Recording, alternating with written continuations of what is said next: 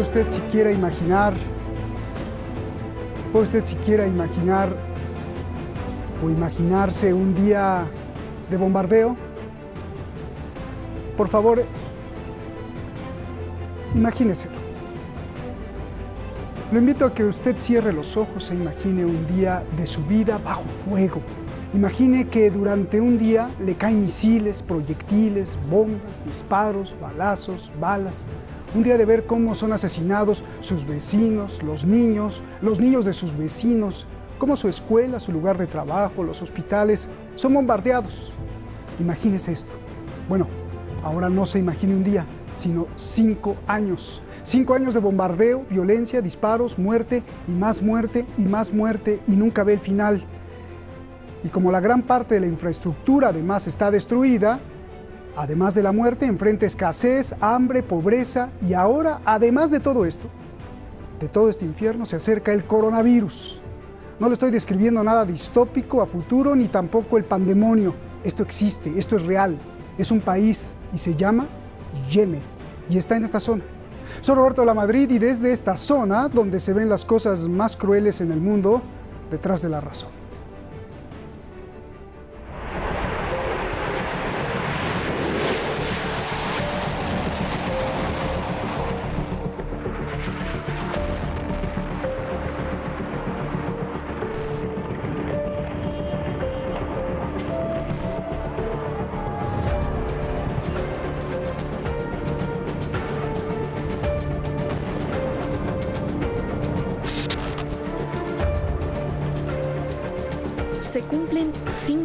De la guerra. Y este aniversario, el movimiento popular yemení de Ansarullah celebra que su poder militar cada día crece más.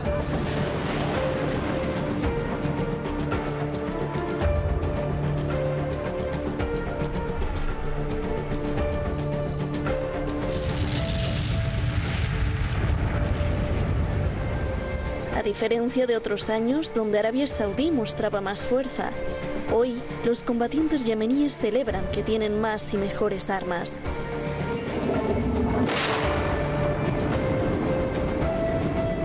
En el último año, los combatientes yemeníes han derribado cientos de aviones y helicópteros de sus enemigos, Arabia Saudí y Emiratos Árabes Unidos. نفذت قوات الدفاع الجوي منذ بداية العدوان أكثر من 721 عملية تنوعت بين إسقاط طائرات حربية وتصدي وإجبار على المغادرة تم El movimiento popular Ansarullah además ha atacado con drones el corazón del petróleo saudí, la petrolera mundial Aramco.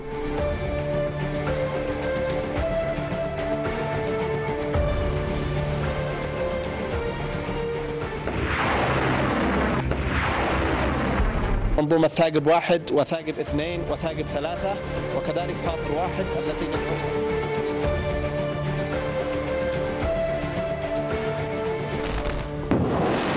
Los combatientes yemeníes han lanzado 1.067 misiles balísticos contra Arabia Saudí, con novedosos sistemas. También han desplegado drones con cargas explosivas y avanzados sistemas de defensa aérea, que han derribado aviones caza.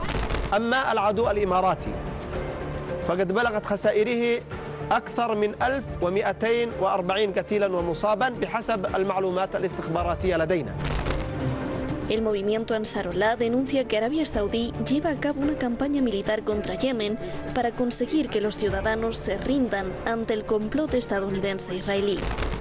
من الدور القاتل والظالم الذي أدارته أمريكا على بلدنا وبأدواتها في المنطقة عن طريق النظام السعودي والنظام الإماراتي ومن يشتغل معهم في هذا العدوان لاستهداف بلدنا El movimiento popular Ansarullah advierte que el sexto año será peor, porque atacará con más fuerza a Arabia Saudí hasta que cese el bloqueo. Por su parte, Arabia Saudí no ha parado de bombardear Yemen y ha deshecho el país. Desde entonces, más de 100.000 yemeníes han muerto, en su mayoría civiles. Reporta la investigación datos sobre localización y acontecimientos de conflictos armados. Today in Yemen, nearly 8 million children are going hungry.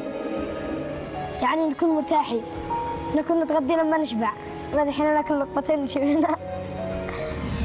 La ONG Save the Children advierte que la guerra tiene un impacto devastador en los niños de Yemen.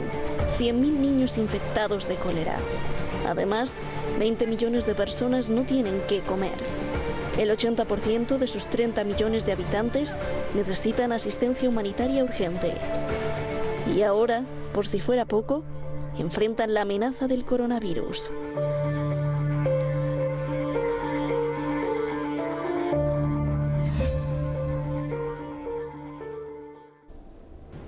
así con una lágrima, usted lo vio ahí, los ojos, el niño.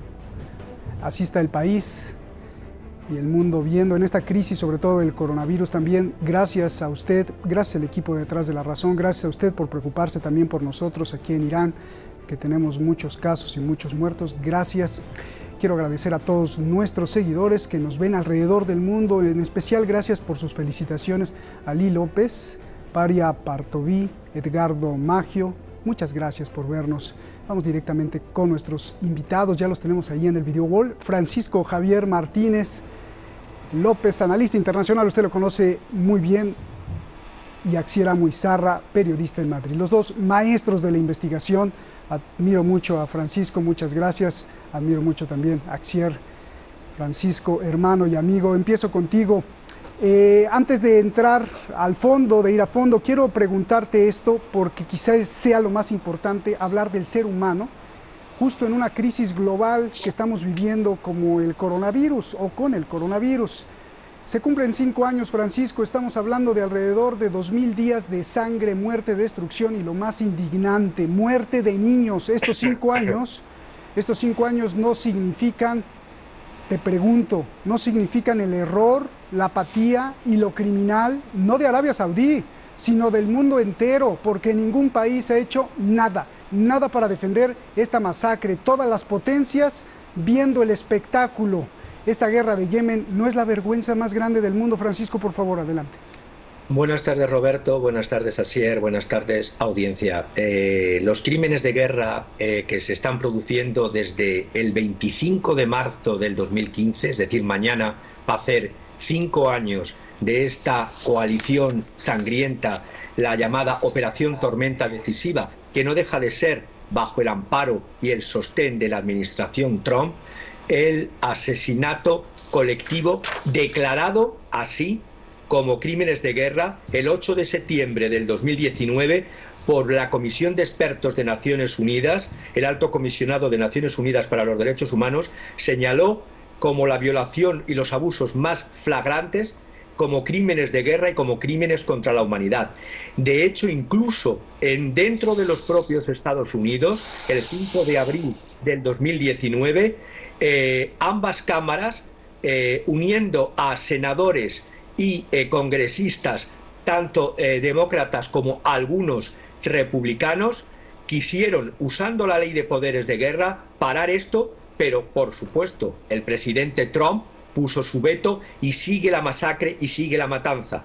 Porque para ser muy rápido y terminar en esta primera parte diría, siguiendo a un penalista internacional de mucha reputación, que es Alex Prief, de la eh, Facultad Vanderbilt University eh, Law School de Virginia, él dice claramente los puntos que se están violando, aparte de lo que he dicho de Naciones Unidas, es que el artículo 1 de común de los cuatro convenios de Ginebra de 1949, los comentarios sobre los convenios de Ginebra del 2016 se están violando. Y además legislación de la propia Unión Europea en cuanto a la prohibición de vender armas a guerras internas o partes en conflicto que violan, como está violando flagrantemente Arabia Saudita y violaba Emiratos Árabes, que ahora están también enfrentados, e en la exportación de armas en violación de derechos humanos. Por lo tanto, el mundo contempla criminalmente desde hace cinco años, mañana hace cinco años,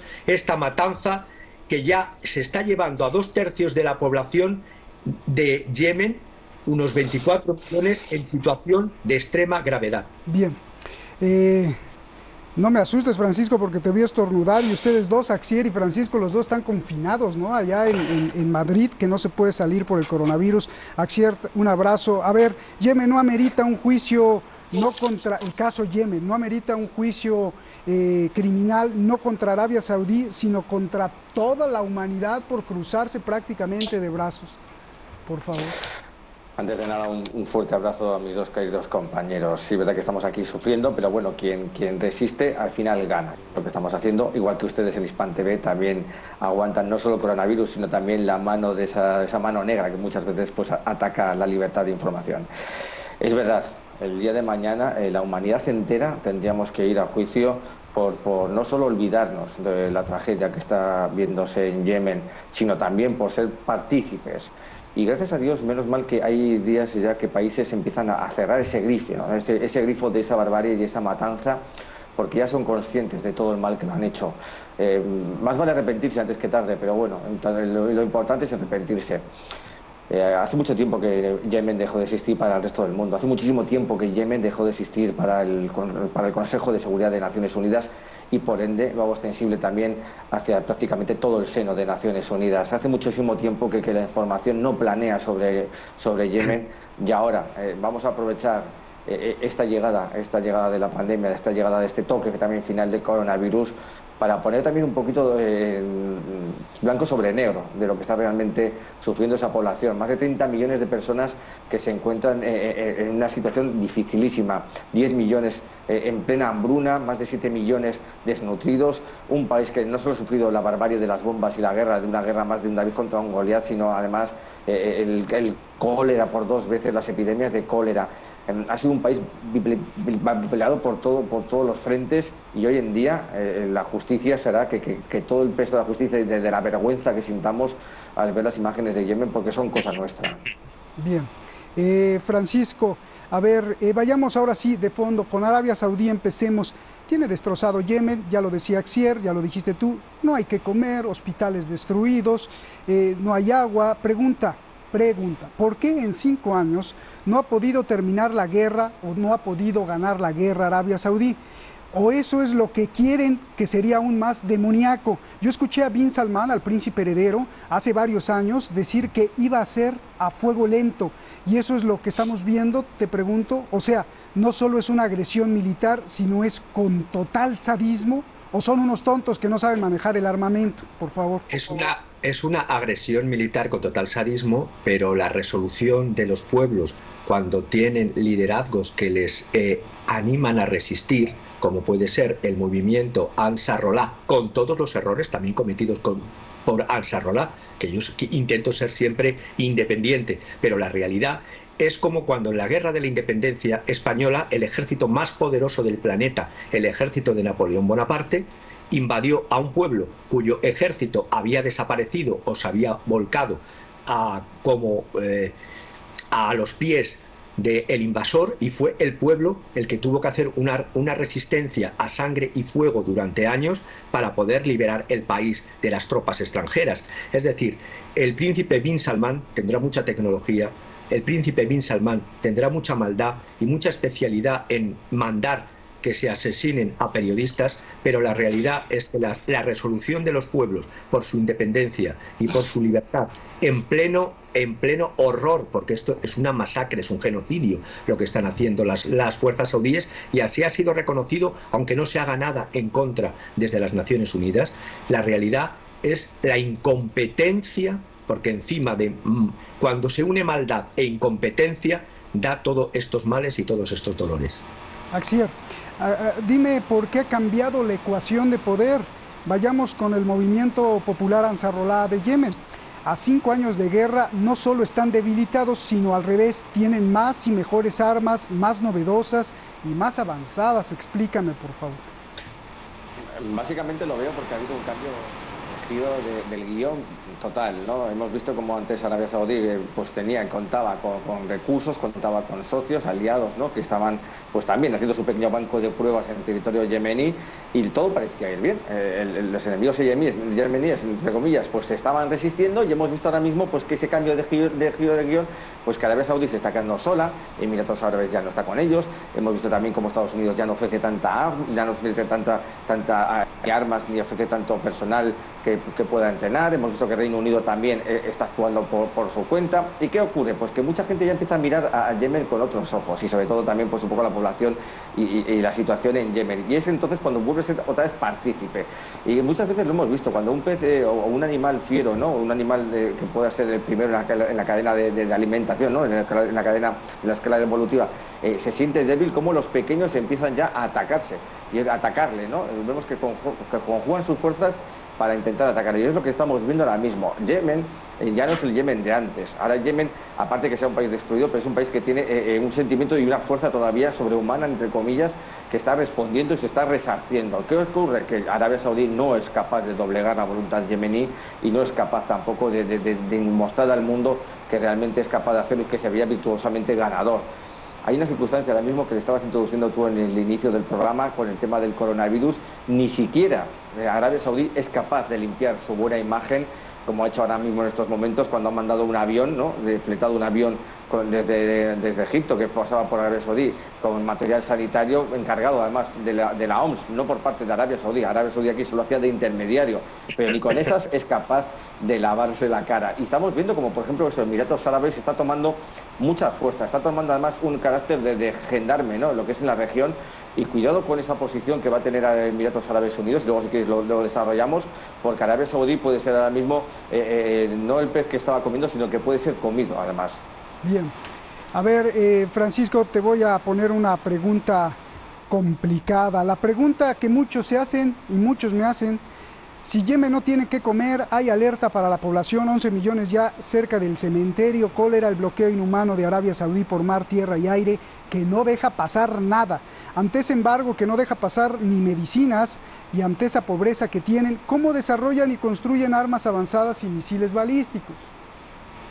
Eh, lo único que se me ocurre, no estoy en el terreno, si recibo informaciones de personas indirectamente que lo reciben de personas de allí, lo único que creo es la resolución de supervivencia que tiene todo ser humano y sobre todo cuando se ve cercado, cuando se ve sometido, cuando se ve vapuleado y cuando ese instinto de supervivencia hace que el ingenio haga que eh, se dé el todo por el todo para sobrevivir.